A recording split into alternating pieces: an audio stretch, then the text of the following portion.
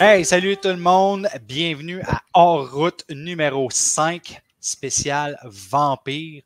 On a un invité spécial avec nous autres, c'est Daniel Leblanc de Horreur FM. Salut Daniel. Hello, hello. So, Daniel de Horreur FM, je suis content de t'avoir parce que tu es un gars de Gatineau et puis euh, ça, ça me fait sentir un petit peu mieux parce que je suis pas le seul de Gatineau maintenant. Il y a deux Ça personnes. de- C'est quoi la ville encore? euh, Sainte-Thérèse ou whatever?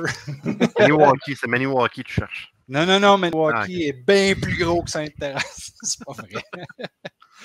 so, là, on est en spécial vampire. Je vous ai envoyé des questions. Et je vais vous demander ces questions-là parce que euh, nos auditeurs ne le savent pas, c'est quoi. Moi non plus. Et vos réponses sont déjà données. Il va peut-être avoir des pièges, des surprises, des choses comme ça. Mais l'important, c'est que vous vous amusez, que vous riez, et ça, même si vous voulez aller vous coucher tout de suite. Je vais noter quelques points, parce que ça me tente de donner des points du monde, parce que on- on- c'est comme un combat aussi en même temps. Je veux entendre les meilleures performances, je veux entendre les meilleures réponses, je veux voir ce que vous êtes capable de faire. Êtes-vous prêts? Oui. Non. Mais oui. C'est pas grave, on va commencer. Puis on va commencer avec Steve. On peut commencer par Daniel. là. Non, Steve. Daniel il va rester en dernier. Steve, je Je t'ai demandé c'était quoi le meilleur film de vampire ou les meilleurs films de vampire? C'était un top 5. Et dans tes réponses, tu avais Fright Night. Yes. Donc, tu dois me dire en deux minutes pourquoi Fright Night est le pire film de vampire et non pas le meilleur film de vampire? Vas-y. T'es sérieux, là? Je suis très Je vous envoie sérieux. une question qu'on se prépare. Ça m'a pris je sais pas combien de temps. C'est quoi? Pourquoi c'est le meilleur film de vampire? Faut Puis là, faut faire le contraire. le contraire, oui. Ça, c'est chien. C'est chien. Ben, premièrement, là, Fright Night, c'est pas un. Pour moi, c'est même pas un film, c'est une émission de TV avec un vieux acteur déchu, poche, qui a rien fait dans la vie.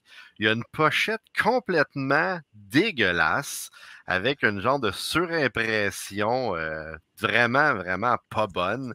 Quand j'étais jeune, j'allais au club vidéo, j'étais comme, Yark, c'est quoi cette pochette-là?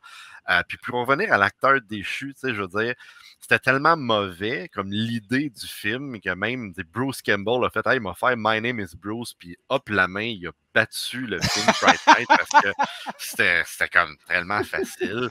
Après, sérieusement, il n'y a aucun gars ici dans sa vie qui a espéré pouvoir zioter la maison d'à côté puis voir une femme nue. Ça arrive, ça, ça arrive pas. Ça arrive pas, c'est impossible. Le duo, le duo Olin puis Sharon Dunn, ils ont que fait de la merde, child play, euh, pff, je veux dire, arc. Jerry, Jerry est juste le pire vampire ever. Il n'a aucun charisme, il est pas charmant, aucun tombeur de femmes du tout et le monde ne veut rien savoir. Le film est vraiment aucunement, mais aucunement un, un super mix entre les films classiques d'Hammer et les films des années 80. Ça marche pas du tout. Ça prend 25 minutes avant qu'on sache qu'un vampire l'autre bord, là, il se passe rien au début du film. C'est long, c'est plate. Tout est en CGI, il n'y a aucun practical effect là-dedans. Euh, c'est un film. bon, c'est fini. qui- Rien dans CGI. Arrête-moi ça, toi. Ah, Désolé j'ai- pour j'ai ce fait tout piège. le contraire, mais Ben, Martin, c'est ça. tu voulais te revenger à cause d'Adam Marcus. Non, hein, non, ça avec toi. Ça va être pour tout le monde, cette question-là. So, je vais passer avec Stéphane. Stéphane, Ouf. dans tes choix, tu m'as donné Near Dark comme étant le meilleur film de vampire.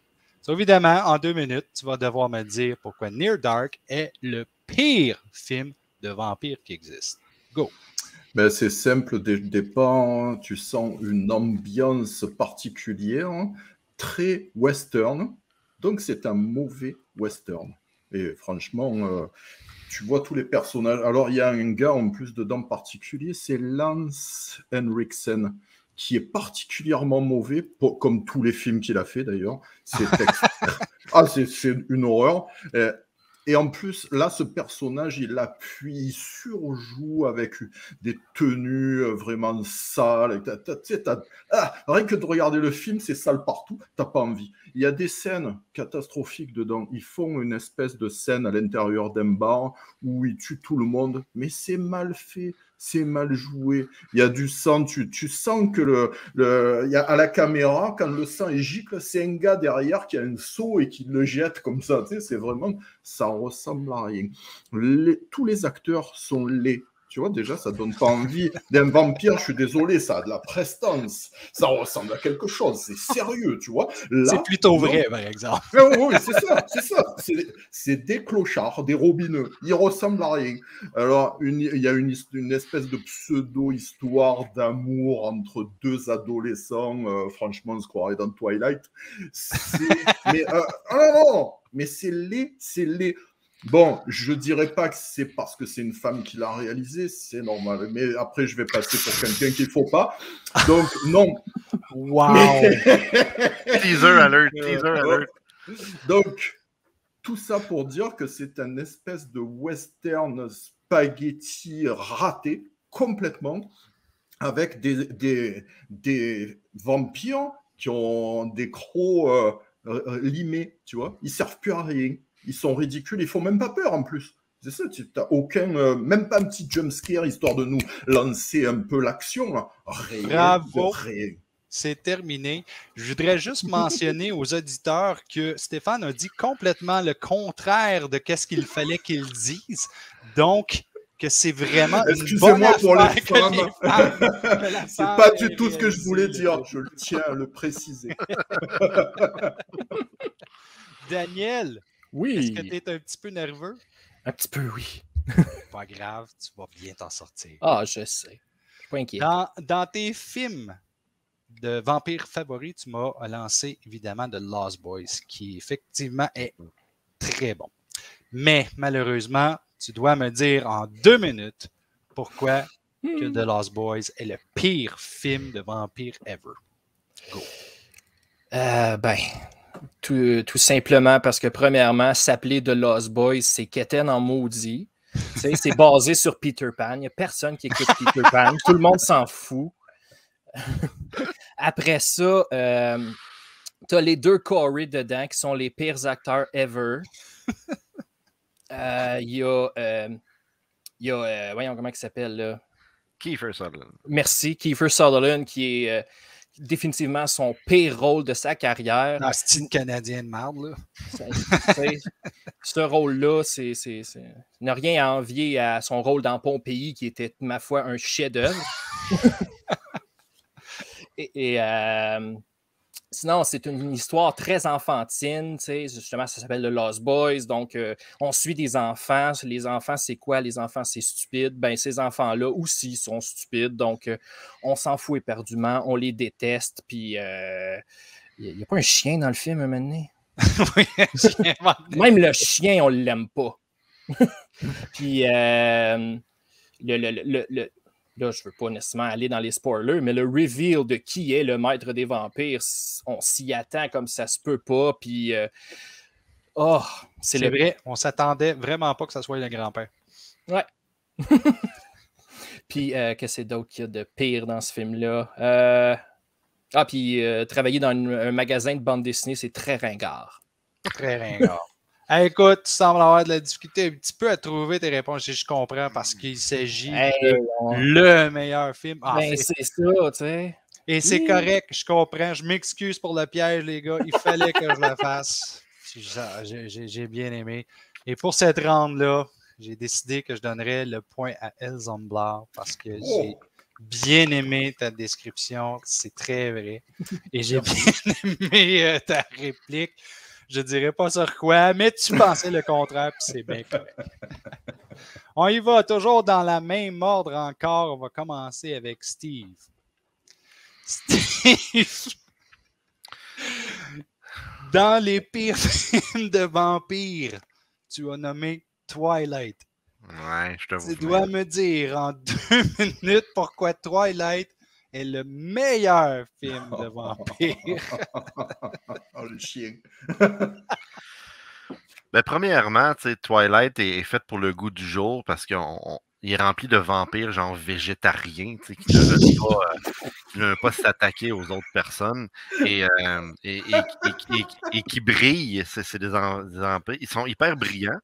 Fait que eux autres, ils sont tellement brillants que le soleil reflète sur eux et ça, ça montre quelque chose de vraiment incroyable. C'est tellement, tellement des, des, beaux vampires végétariens qui, euh, qui peuvent se voir dans le miroir ils peuvent, ils peuvent eux autres. Il y a, des, scènes de miroir hallucinantes là-dedans. Euh, on a une actrice principale avec une personnalité incroyable.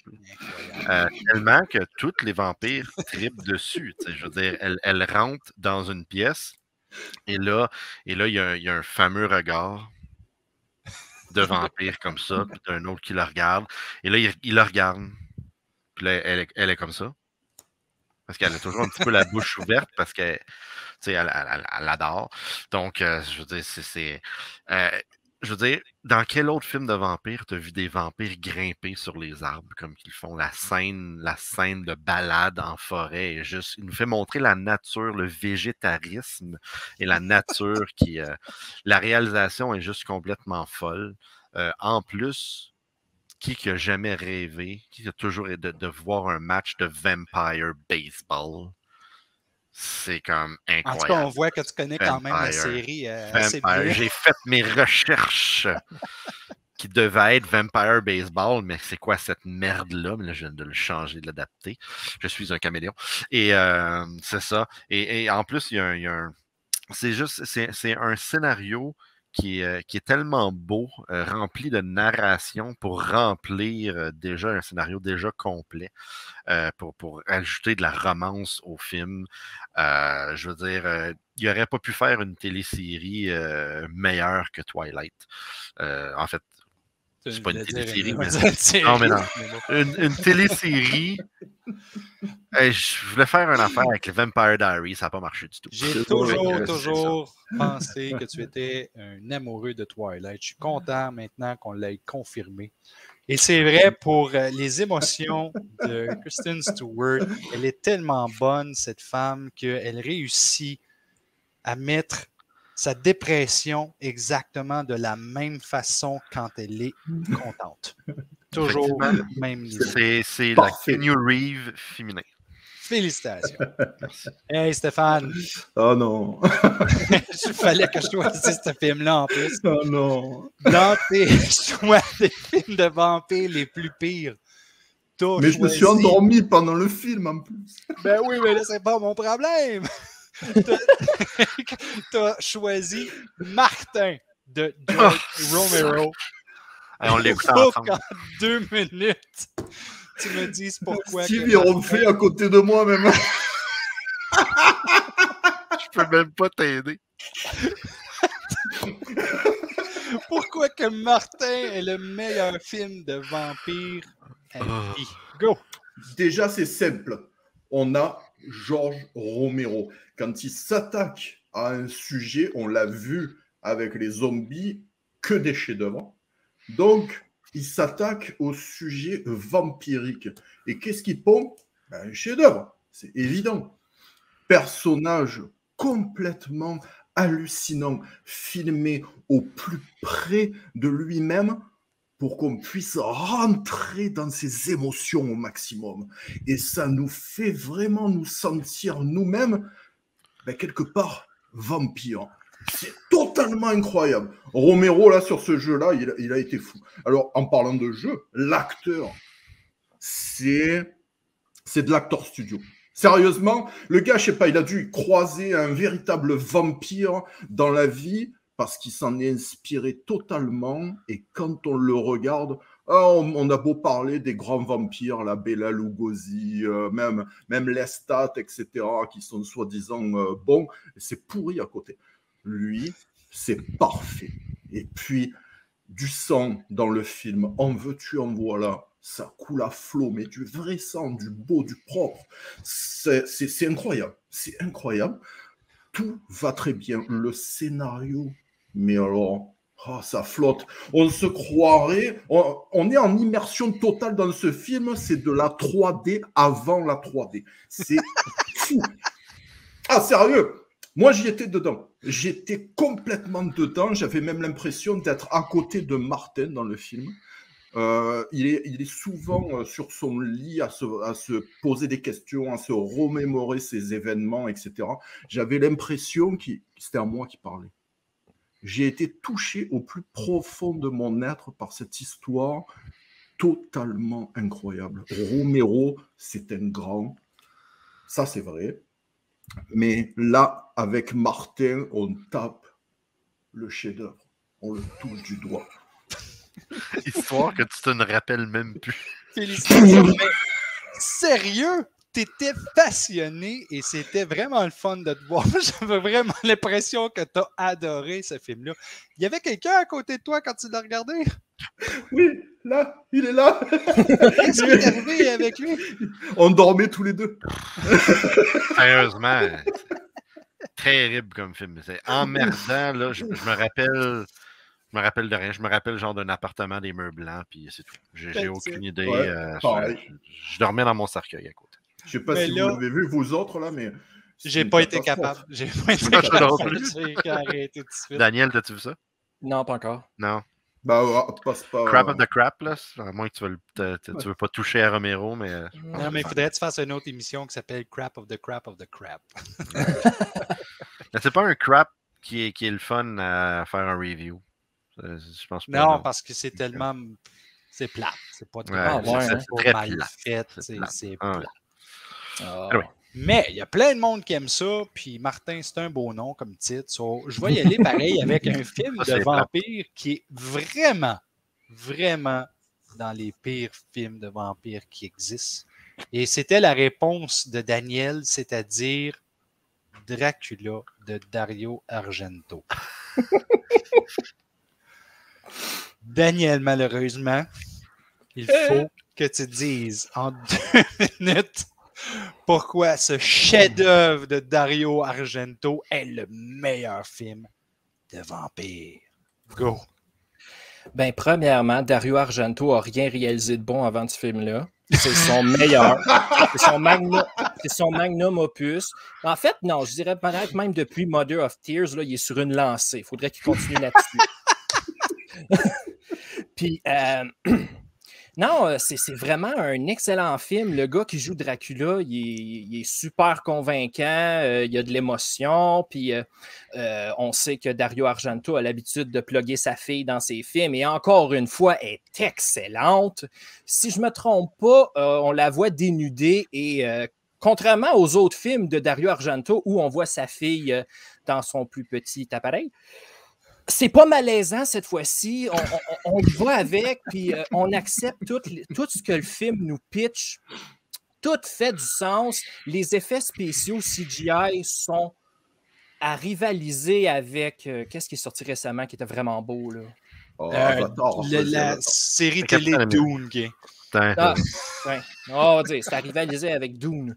Euh, la- la- surtout dans la scène avec la, la, la, la, la, la, la- voyons, la menthe religieuse. Ah. Quand que Dracula se transforme en menthe religieuse, là, là, on atteint quelque chose, là. Je sais pas c'est quoi exactement, je sais pas à quoi Dario Argento a pensé, mais wow, que c'est la meilleure idée qu'il pouvait avoir. Dario, euh, Dario, Dracula qui se transforme en menthe religieuse et qui vient poignarder ou je sais pas trop un gars, puis c'est- vraiment de toute beauté. Et en plus, moi, j'aurais vraiment aimé aller voir ce film-là au cinéma parce qu'il est sorti en 3D. Je suis sûr que l'effet 3D rajoute un, un- un- un- côté euh, encore plus, euh, plus, euh, plus beau. Bravo, Daniel. De toute beauté. Oh, Là, j'ai de la difficulté à choisir un gagnant parce que Zomblard était très passionné. Steve, j'avais vraiment l'impression que tu étais un fan de Twilight. Puis Daniel, c'était pas facile de dire que Dracula de Dario Argento est un des meilleurs films de vampires. Je vais y aller avec Daniel. Daniel, félicitations. Ouh, parce que je l'avais pas facile. Tu mérites un point de vampire. Maintenant, un à un. avec Une et d'ail. Daniel. Steve va falloir que tu donnes plus de ton cœur, puis ça donne bien. On est dans une question que tu vas pouvoir le faire. Steve, je ne fais pas de surprise cette fois-ci. Tu t'es préparé pour ça et tu dois me dire en une minute comment tu expliquerais à ta blonde que ton voisin, Dracula de Bram Stokers, est un vrai vampire et qu'il veut transformer celle-ci, c'est-à-dire ta blonde. Go. En fait, j'irais voir ma femme, je dirais Chérie, tu sais, le, le gros château à côté, là.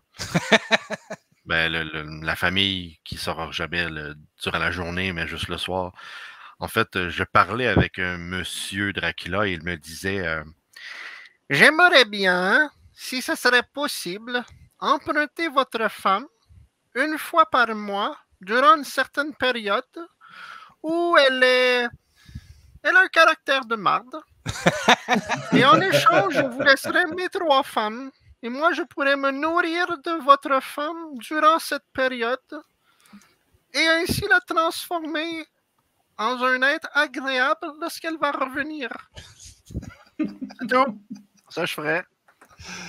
Hein? Bravo. Hein? C'est pas rendu Wow. jusqu'à la minute, mais c'était une très bonne interprétation de Dracula Dracula. euh, avec le C'est- C'est la- la- l'accent roumain. Là. Ouais. De Roumanie. là. Bravo. Bravo. Ah, Stéphane, il va falloir que tu fasses un peu pareil. tu dois me dire en une minute, il faut que tu écoutes comme il faut, OK? Tu dois me dire en une minute comment tu expliquerais à Steve Villeneuve que ton voisin Bella Lugosi est un vrai vampire qu'il veut transformer. Euh, Steve, vas-y. Euh, tu peux me la refaire? Ouais, c'était Bella Lugosi. Ouais, Bella Lugosi. Euh, ben, c'est simple, Steve. Euh, tu sais que ton nouveau voisin qui vient d'arriver, il a débarqué en pleine nuit. On l'a pas vu. Par contre, il y avait un cercueil dedans. Et puis, ouais, ouais, carrément. Mais j'ai vu les gars qui ont débarqué le cercueil. Ils sont hmm, bizarres. Mais ce que j'ai pas compris, c'est que je passais la nuit derrière, juste devant, et puis j'ai vu Bella Lugosi. C'était totalement incroyable. Mais euh, je ne sais pas si tu es au courant, euh, le gars, euh, il vient de, Hongrie, là. C'est sûr, c'est sûr qu'il va te bouffer. C'est un vampire, certain, parce qu'il m'a souri, il avait les dents qui brillaient, mais pointues. Il a une cape de vampire, tu sais, noir, rouge à l'intérieur. Franchement, il me fait peur. Il va te bouffer, sérieux. évite-le, surtout si tu le vois la nuit. Rentre chez toi, mets ton, ton autour du cou et laisse faire. Bravo. Steph, Steve, vous avez 30 secondes pour discuter de ce sujet-là. Tu viens d'avoir la nouvelle, Steve. Go. Je viens d'avoir la nouvelle. Ah, la- Lugosi était à côté, le voisin de Stéphane. Ok, ok, ben je peux, je peux te demander son autographe? Tu as-tu demandé un autographe? Parce que c'est- Ben, euh, j'ai voulu, mais j'ai envoyé mon gars justement pour euh, parler avec lui parce que moi j'avais trop peur. Mais mon gars, il est toujours parvenu. Ah. Ça fait une, ça fait une semaine. Donc euh, je- là, je commence vraiment à stresser. J'ai j'ai appelé la police et euh, ben, les policiers, euh, ben, je sais pas, ils m'ont pas recontacté depuis, donc euh, j'ai peur. Bravo. Ça, j'ai rajouté ça, ça me tentait. OK. Daniel. Daniel, tu dois me dire en une minute comment tu expliquerais à Donald Trump que ton voisin Jerry Dandridge est un vrai vampire et qu'il veut transformer celui-ci, c'est-à-dire Donald Trump. Go. Donald, écoute mon Donald. Là, là, Jerry, là, c'est pas, pas un gars pour toi, il veut ta femme. Puis il veut pas ta femme parce qu'il veut ta femme, il veut ta femme pour toi. Puis toi, c'est quoi que t'as? T'as le pouvoir. Puis le pouvoir, t'aimes ça, hein? Ben là, si ta femme, elle devient un vampire puis elle te transforme en vampire, ben tu vas devenir euh, le, le subordonné à Jerry. C'est pas ça que tu veux, hein? Non? Bon, hein? Ben t'as juste à m'écouter, puis à l'éviter, puis à pas le mettre dans ton conseil des ministres ou whatever, comment ça s'appelle, là. Ou du politicien de mal. Terminé? Ouais, quelque chose de même, là. OK. Ah, malheureusement, il manquait encore Ouais, un il 25 manquait. secondes. Puis Ah.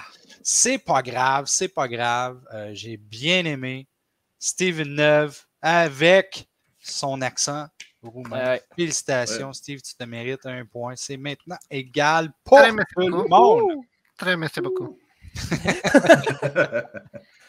OK, on y va avec la prochaine question. Steve, ah, j'aime ton choix.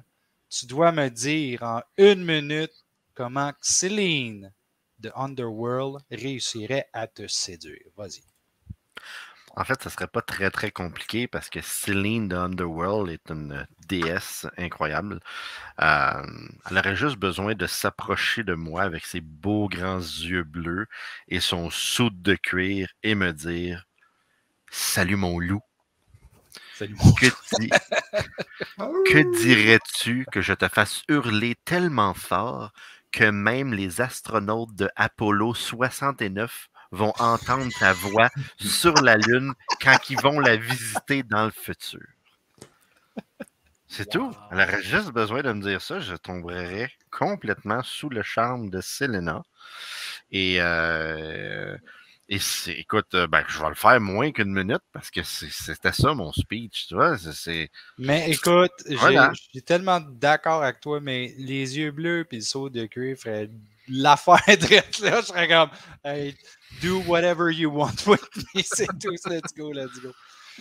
Ah, j'aime vos choix, par exemple, parce que au cas que les éditeurs ne le savent pas, j'ai demandé qui étaient les euh, vampires les plus sexy euh, dans euh, les films de vampires. Ils m'ont tous nommé des personnes. Il y en a qui ont nommé des personnes exactement la même réponse que les autres.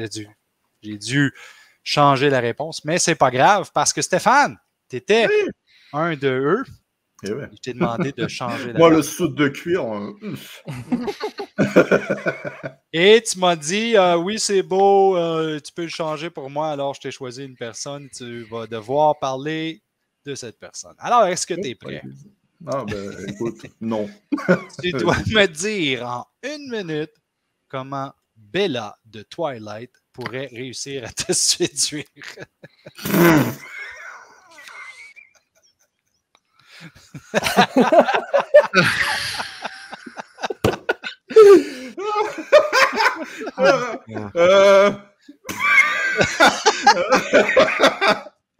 Désolé. Euh, eh bien, simplement, moi, j'adore les, les jeunes étudiantes.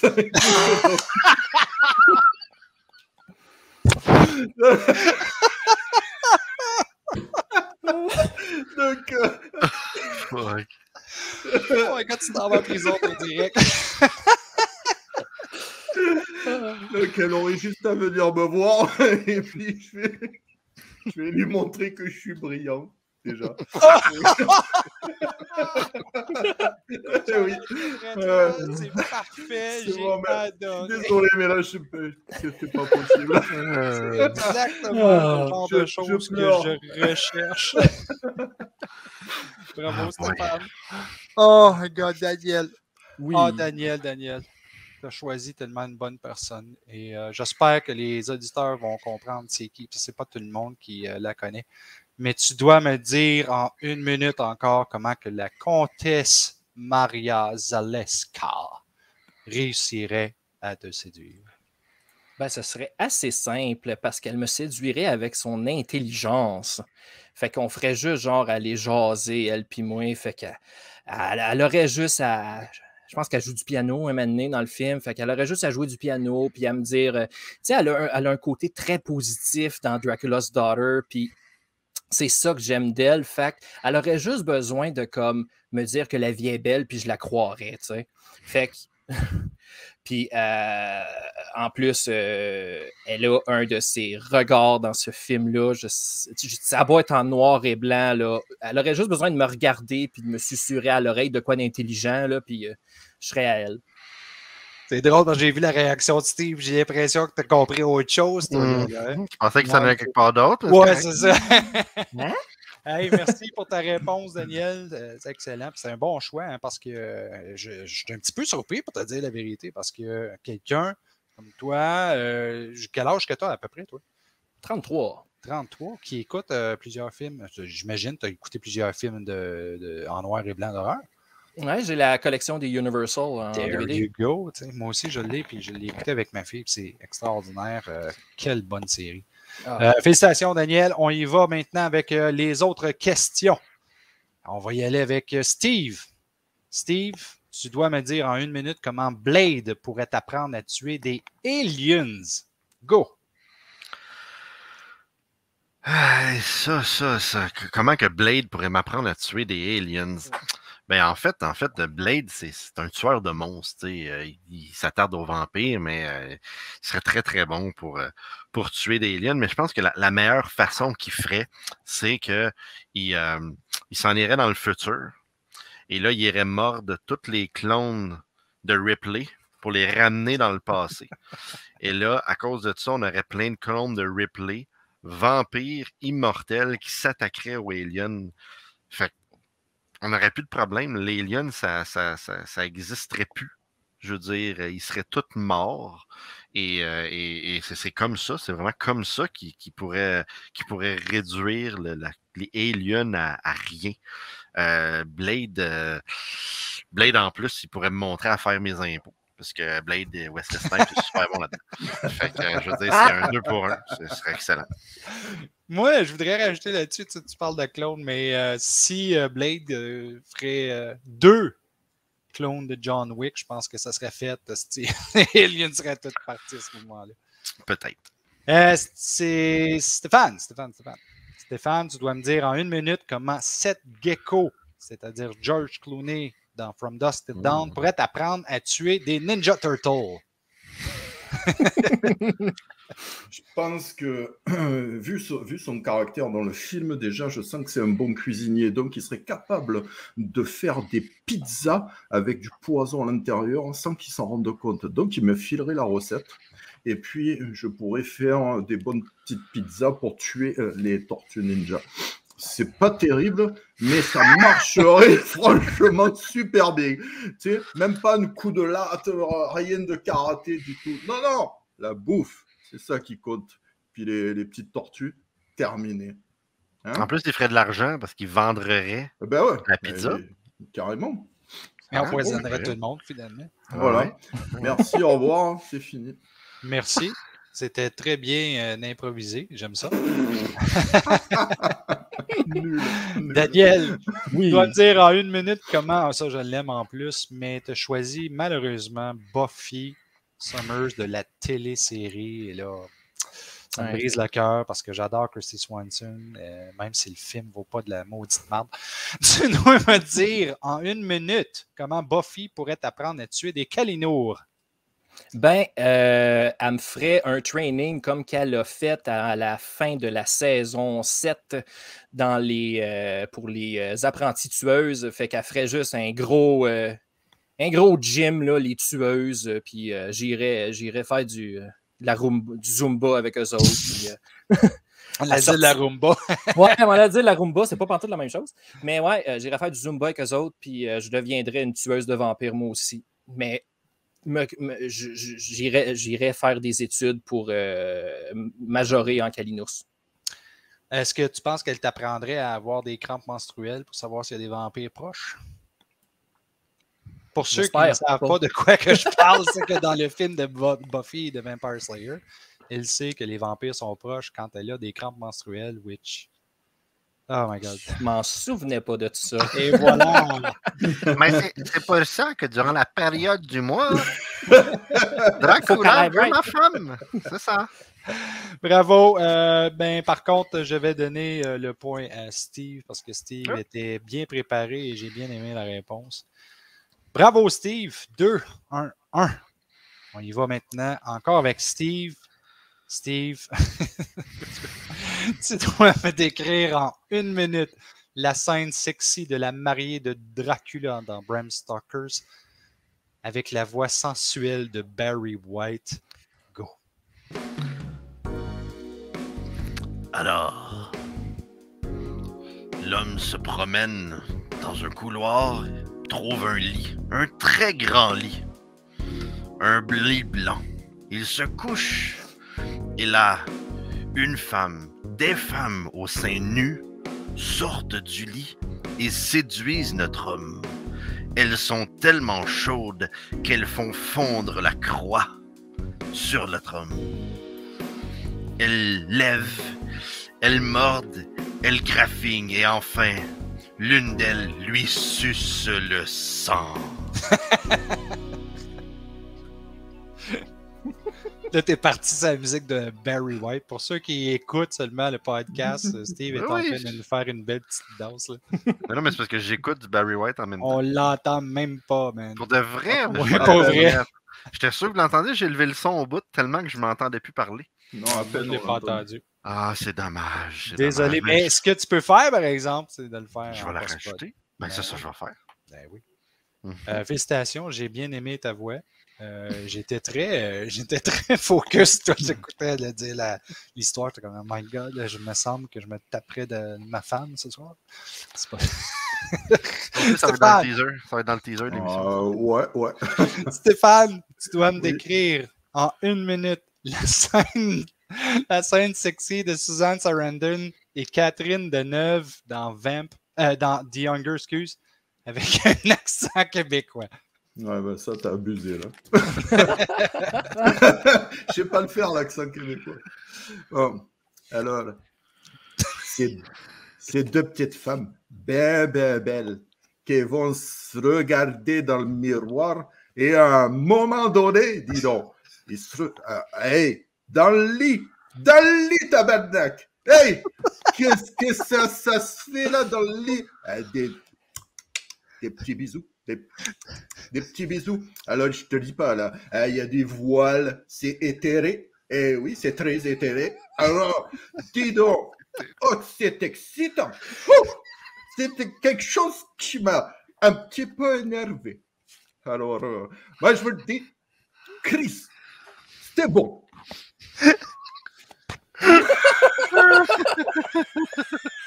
Désolé pour tous mes amis québécois. Oh, Ah, oh, wow. oh, Wow. Ah, ça, c'était bien. oh, merci pour cette séance de rire. Incroyable.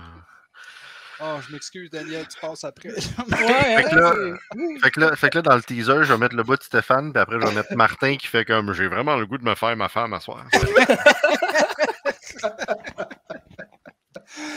Ah. Oh, God. Oh, bravo, Steph. C'était vraiment incroyable.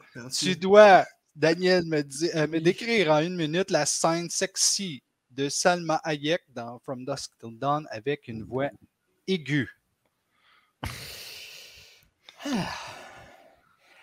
Alors, euh, Salma Hayek arrive sur le stage, elle a une espèce de grande, grande, grande cape ou je sais pas trop. Puis, mon Dieu, j'ai comme mué. elle a une grande cape, puis euh, là, elle l'ouvre d'un bord, elle l'ouvre sur l'autre. Là, oh, il y a un serpent qui apparaît sur elle, puis là, elle se met à danser super sexy avec le serpent sur ses épaules. Puis là, c'est super sexy. Puis là, euh, mon beau Quentin Tarantino, il a yeux comme il n'y a pas de lendemain. Ça n'a pas d'allure. Il est donc, un il est donc cochon. Hey! Puis là, elle arrive pas loin de lui, puis elle crisse son pied dans la gueule. Puis elle verse de l'alcool. Elle se verse de l'alcool sur sa jambe pour qu'il boit. C'est tellement sexy. J'en reviens pas, je te trempe. Bravo, mais comme vous le Oh, savez, il était impossible de battre Stéphane là-dessus. Stéphane, c'était priceless. Tu sonnais comme une Hey, madame merci. de 83 ans, euh, Daniel. Oui, mais c'est. oui, mais c'était très drôle, pareil. Là. Oh my god. Euh, c'est quoi le point, là? C'est pas important, c'est pas grave, on passe à autre chose. Euh, on va y aller avec Steve encore une fois. C'est la dernière question de l'émission. Après ça, c'est terminé. Désolé. Mais Steve, tu vas me décrire. Vas-y, ben, je- je- ben, c'est la scène. Ah, OK. Steve, tu dois me décrire en une minute encore la scène de la mort de Radu dans Subspecies 3 avec le plus d'expression et de gestuels possible. Ça va être drôle, ça. Go. Hey! Et où ma file? Qu'est-ce qui se passe? Quoi? Ah! Mais là, c'est Radou! Radou qui veut absolument avoir son, euh, son petite affaire de même. Puis là, il veut. Puis quand la fille, elle le lance, mais elle le lance, oh mon Dieu, qu'est-ce qu'il va faire? comme un homme, il va combattre le soleil. Et le soleil va malheureusement le tuer, le faire enflammer. Et là, ses longues mains, et le soleil, et la fumée. Et là, là, du goudron, et du goudron. Il a mangé de l'asphalte. Ah! Et là, il, il prend feu comme une vulgaire branche de bois sec qui n'a pas connu l'eau. On se croirait en Australie. Là, brûle. Et là, il va dire, je ne peux, je dois, je dois sauter. Et là, le pieu dans la tête. Et voilà. Wow. Wow. Quelle scène incroyable. Après un petit peu de camp avec des marshmallows. sais, un grand manger là-dessus. J'ai aimé euh, les émotions. J'aime à quel point tu es un passionné de la mort de Radu dans Subspecies 3. Ouais, The mais là, c'est de la triche, hein, c'est de la triche. Le gars, il s'est foutu l'extrait. Ah, mais là, Ah, on parle de J'ai jamais dit préparation. qu'on hein. n'avait pas le droit. Ouais. Malheureusement, Stéphane, tu vas devoir te débiner avec une description en une minute de la scène gore de Billy, le serviteur de Jerry Dandridge dans Fright Night, avec le plus d'expressions et de gestuels possible. Tu as une minute. Vas-y. Nos deux héros, en haut des escaliers, prêts à tuer le grand Jerry. Et là, c'est incroyable. Jerry arrive, mais juste avant, son grand capitaine, Billy, arrive pour les arrêter. Mais là, il se retourne, un coup de pistolet, une balle directe dans la tête. Billy tombe. Hop, c'est fini. Jerry arrive, mais ils arrivent à le faire fuir. Et d'un coup, Billy se relève et vient les attaquer directement en haut des escaliers. C'est terrible Il le retire dessus, mais dans les fumées incroyables. Non, il n'y arrive pas. Ils vont pour mourir tous les deux. Sauf que là, heureusement, le héros principal, un bout de bois, il le plante directement dans son cœur. Et là, ah, ah, là, c'est incroyable. Billy se met à lever sa main. Regarde, qu'est-ce qui se passe? Et il se met à fondre, littéralement. C'est ignoble, c'est dégoûtant, c'est fantastique. Oh Et qu'est-ce qui se passe? Ça dégouline, c'est verdâtre, c'est rougeâtre, c'est ah, ah, immonde, mais ça se transforme aussi en sable. On ne sait pas trop pourquoi, mais c'est, ça fait un effet incroyable et hallucinant. Et là, boum Squelette qui tombe en arrière. Oh, avec la tête qui finit à rouler sur le par terre. C'est un magnifique. Félicitations. euh, C'est du vrai Shakespeare. Euh, moi, je vais t'engager pour ma prochaine pièce de théâtre. C'est certain. Daniel, Oui. c'est toi qui termine avec la dernière question de ce show de horreur. Non, d'horreur. D'horreur. tu dois me décrire en une minute la scène gore. Oups! Non, c'est pas vrai. Tu dois me décrire en une minute la scène Death by Stereo dans The Lost Boys avec le plus d'expressions et de gestuels possible. Vas-y. Ben, euh, Corey Haim est dans son salon, euh, la lumière est tamisée rouge, euh, il y a du sang dans l'air, ça se peut pas. Puis là, euh, son frère arrive, si je me trompe pas, puis il a une arbalète, puis là, il, il dit quelque chose, quelque chose qui a vraiment pas rapport, je me souviens plus. puis là, après ça, il tire l'arbalète sur le vampire, et le vampire lui dit euh, quelque chose comme T'as manqué, puis je pense qu'il le retire. Puis après ça, il tombe dans le, dans le stéréo et le stéréo se met à exploser. Il y a des flamèches partout, ça explose, ça explose. Après ça, éventuellement, la tête du vampire explose et il tombe mou comme une espèce de vieille guenille et il est.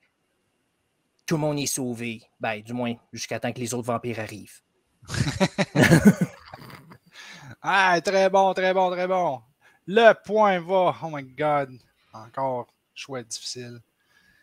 Mais pour son côté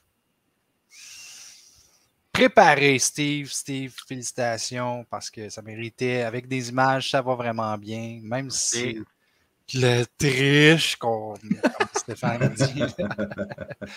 Félicitations, les gars, le grand gagnant. Steve, euh, mais vous êtes tous des gagnants pour moi. J'ai bien aimé faire le show avec vous autres. J'espère que vous avez aimé ça. Oui. Et ça, c'est la clôture de En route numéro 5.